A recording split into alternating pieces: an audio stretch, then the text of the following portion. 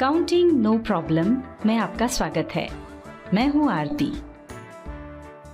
आगे बढ़ने से पहले हमारी आपसे प्रार्थना है, कृपया सोचें, आप डेटा एंट्री ऑपरेटर यानी बाबू बनना चाहते हैं या अकाउंटेंट आप टैली का अधूरा ज्ञान प्राप्त करना चाहते हैं या उसके विद्वान बनना चाहते हैं? यदि आप अकाउंटेंट या विद्वान बनना चाहते हैं तो हमारा आपसे निवेदन है इस वीडियो सीरीज़ की सभी वीडियोस को एक एक करके क्रमानुसार ही देखें। वीडियोस को क्रमानुसार देखने के दो तरीके हैं। पहला है हमारी वेबसाइट द्वारा और दूसरा हमारे YouTube चैनल की प्लेलिस्ट द्वारा। टैली के इस वीडियो सीरीज़ के आज के अध्याय में हम आपको बताएँगे कि किसी भी ट्रांजैक्शन को देखकर कैसे पहचाने कि उसे टैली में किस वाउचर में रिकॉर्ड करना है। इसके पहले की दो वीडियोस में हमने आपको सोर्स डॉक्यूमेंट्स और टैली में अकाउंटिंग वाउचर्स क्या हैं और उनके उपयोग के बारे में बताया था। आज हम उसी आधार पर आगे प्रैक्टिस करने जा रहे हैं। हमने आपको मैनुअल अकाउंटिंग की प्रोसेस के बीच जर्नल के बारे में बताया था और वहाँ कुछ ट्रांजेक्शन्स भी बताए थे। उनमें से कुछ ट्रांजेक्शन्स और दूसरे कुछ और ट्रांजेक्शन्स हम आपको यहाँ बता रहे हैं। और इन्हें देखकर आपको ये निर्णय करना है कि किस ट्रांजेक्शन को किस वाउचर में रिकॉर्ड करेंगे।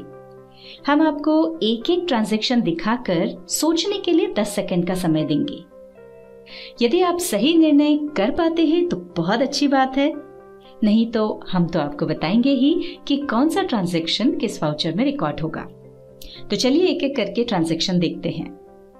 पहला ट्रांजेक्शन है, एक अप्रैल को हम व्यापार प्रारंभ करने के लिए एक लाख रुपए नकद पूंजी, यानी कैपिटल लाए। अब आप सोचिए कि ये ट्रांजेक्शन किस वाउचर में रिकॉर्ड होगा।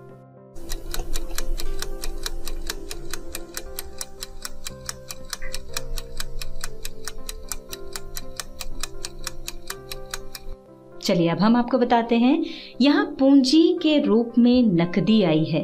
और जैसा कि हमने आपको बताया था कि नकद या बैंक के माध्यम से कोई भी प्राप्ति होती है तो इस तरह के ट्रांजैक्शन को रिसीट वाउचर में रिकॉर्ड किया जाता है। दूसरा ट्रांजैक्शन, पाँच अप्रैल को हमने बीस हज़ार रुपए स्टेट बैंक ऑफ़ इंडिया में नकद जमा करके खाता खोला। अब आप सोचिए, ये किस वाउचर में जाएगा।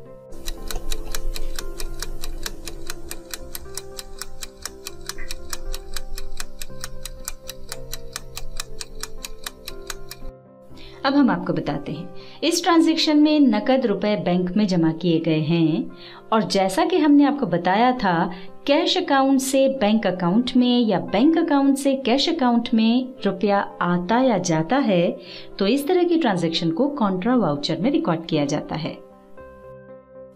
अगला ट्रांजेक्शन है 6 अप्रैल को राम शर्मा को नकद दो हज़ार रुपए उधार दिए।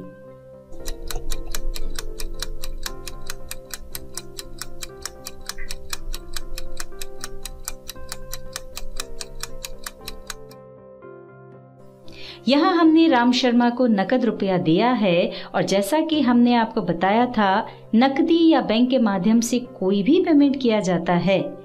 तो इस तरह के ट्रांजेक्शन को पेमेंट वाउचर में रिकॉर्ड किया जाता है। अगला ट्रांजेक्शन है 6 अप्रैल को व्यापार के लिए इक्यावन हज़ार का माल नकद खरीदा।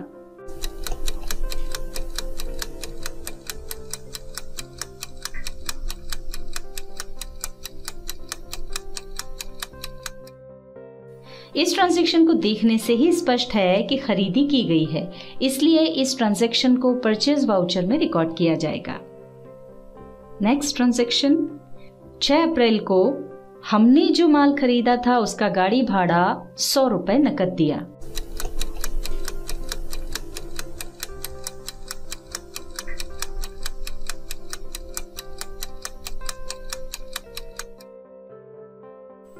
देखिए, यहाँ नकद भुगतान किया गया है, यानी इस ट्रांजेक्शन को पेमेंट वाउचर में रिकॉर्ड किया जाएगा।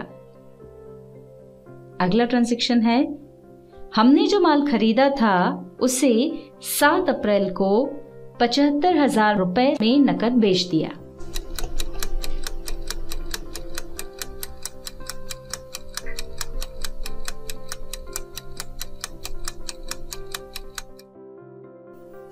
इस ट्रांजैक्शन को देखने से ही स्पष्ट है कि माल को बेचा गया है, इसलिए इस ट्रांजैक्शन को सेल्स वाउचर में रिकॉर्ड किया जाएगा।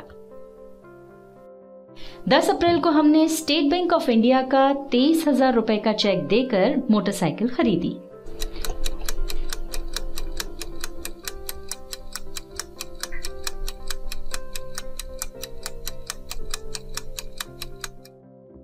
अब यहाँ पर मोटरसाइकिल खरीदने के लिए बैंक से भुगतान किया गया है। इसलिए इस ट्रांजेक्शन को पेमेंट वाउचर में रिकॉर्ड किया जाएगा। अगला ट्रांजेक्शन है। एक मई को हमने मोहन को अप्रैल माह की तनख्वाह पाँच हज़ार रुपए स्टेट बैंक ऑफ़ इंडिया के चेक से दी।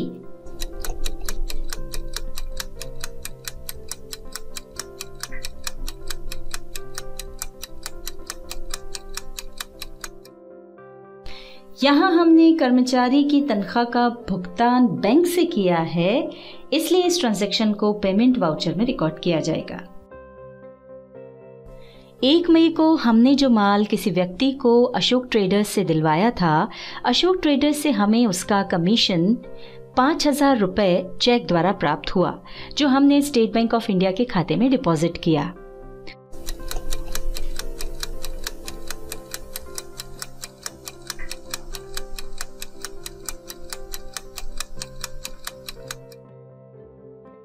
देखिए, यहाँ हमें चेक के माध्यम से कमीशन प्राप्त हुआ है मतलब हमें प्राप्ति हुई है।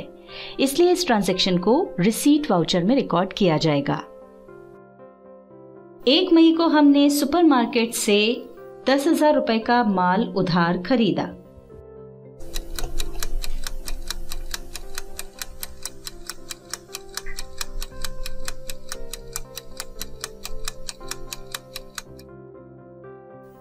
इस ट्रांजेक्शन को भी देखने से स्पष्ट है कि खरीदी की गई है, इसलिए इस ट्रांजेक्शन को परचेज वाउचर में रिकॉर्ड किया जाएगा। नेक्स्ट ट्रांजेक्शन देखते हैं। तीन मई को हमने सुपरमार्केट से जो माल खरीदा था, उसे मोहन ट्रेडर्स को पंद्रह हज़ार रुपए में बेच दिया।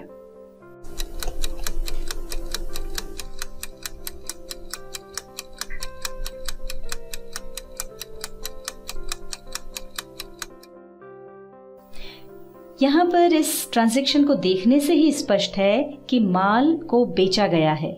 इसलिए इस ट्रांजेक्शन को सेल्स वाउचर में रिकॉर्ड किया जाएगा। अगला ट्रांजेक्शन हमने पंद्रह हज़ार रुपए का जो माल मोहन ट्रेडर्स को बेचा था, वो खराब होने से मोहन ट्रेडर्स ने हमें पाँच मई को वो माल वापस कर दिया।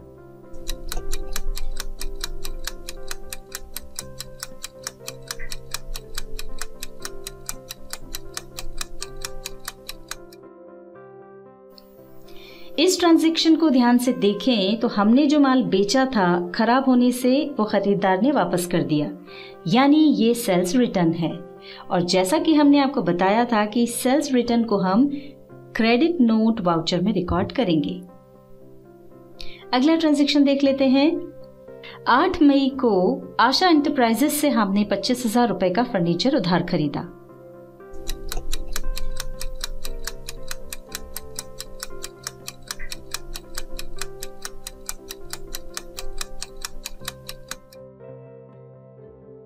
इस ट्रांजेक्शन में उधार फर्नीचर खरीदा गया है, यानी खरीद तो हुई है, पर ये खरीद फिक्स्ड असेट्स की है। और जैसा कि हमने आपको परचेज वाउचर में समझाया था कि इस तरह की खरीद को हम परचेज वाउचर में रिकॉर्ड नहीं कर सकते। तो फिर इस ट्रांजेक्शन को कहाँ रिकॉर्ड करेंगे?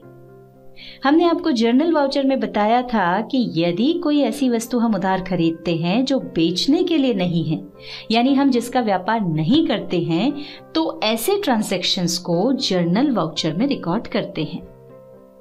अब ये फर्नीचर हमने उधार खरीदा था। यदि नकद खरीदा होता तो इस ट्रांजेक्शन को हम सीधे पेमेंट वाउचर में रिकॉर्ड करते। अब है अगला ट्रांजेक्शन आठ मई को मोहन ट्रेडर्स से हमें जो माल वापस आया है, उसे हमने सुपरमार्केट से दस हज़ार रुपए में खरीदा था। उस माल को हमने वापस सुपरमार्केट को भेज दिया।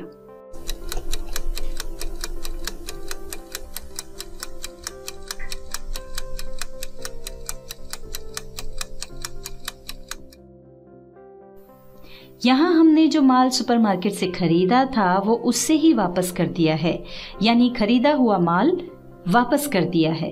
तो ये हुआ परचेज रिटर्न और जैसा कि हमने आपको बताया ही था कि परचेज रिटर्न को हम डेबिट नोट वाउचर में रिकॉर्ड करते हैं। नेक्स्ट ट्रांजेक्शन है 10 मई को हमने स्टेट बैंक ऑफ़ इंडिया से चेक द्वारा पाँच हज़ार रुपए नकद निकाले।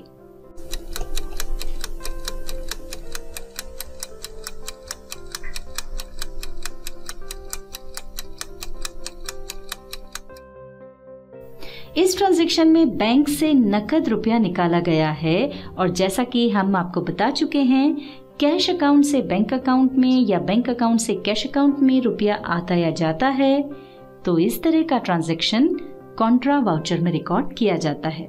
आखिरी ट्रांजैक्शन देखते हैं। हमें अशोक ट्रेडर्स से जो कमीशन का पाँच हज़ार रूपए का चेक प्राप्त हुआ था, वो 12 मई को बैंक से डिसऑनर होकर यानी चेक बाउंस होकर वापस आ गया।